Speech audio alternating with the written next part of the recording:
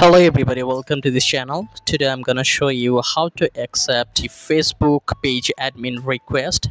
For that you have to follow my instructions very carefully. First of all you need to go to your facebook application so these will be the interface. Now you can see there are many options here.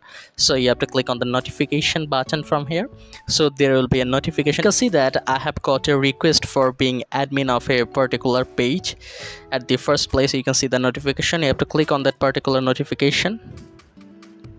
Okay now you can see that it is written review your invite to manage this page. There are two buttons like decline and second one is review invite. So you have to click on the review invite button. Okay.